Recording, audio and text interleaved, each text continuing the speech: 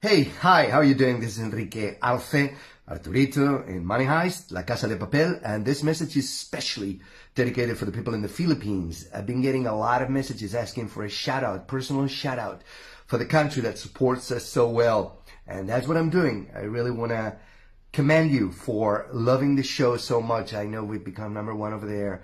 Uh, it's so fascinating to know that the show has traveled so far and so well. I'm sorry I don't speak Tagalog, but I want to say in my name and in the name of uh, all my colleagues, sa ming mababuting kaibigan sa Philippines, maraming salamat. We love you. Bye.